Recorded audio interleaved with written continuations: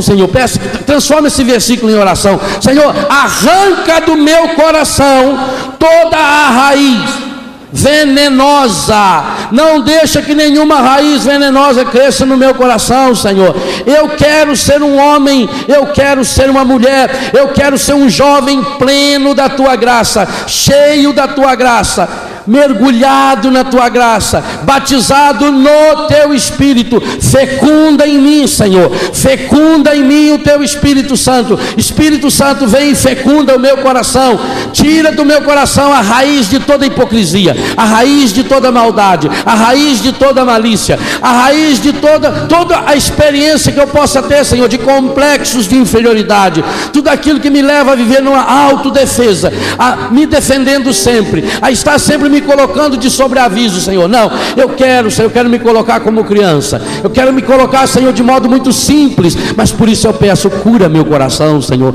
O meu coração está ferido, Senhor. Ferido por fofocas, ferido por ressentimento, Senhor. Ferido por mágoas, Senhor. Ferido, Senhor, porque eu vou me tornando uma pessoa frágil, uma manteiga derretida, Senhor. Qualquer coisinha que falam, Senhor. E eu já estou acumulando no meu coração. Meu coração está ferido, Senhor. Cura Cura o meu coração, Senhor. Ele está ferido. Ele está ferido por essa raiz venenosa que foi crescendo, Senhor. Que foi contaminando o meu corpo, a minha mente, o meu entusiasmo, a minha alegria. E que depois tornou-se também, Senhor, numa fonte de contaminação para a minha comunidade, Senhor. Para a minha igreja, Senhor. Para a minha família.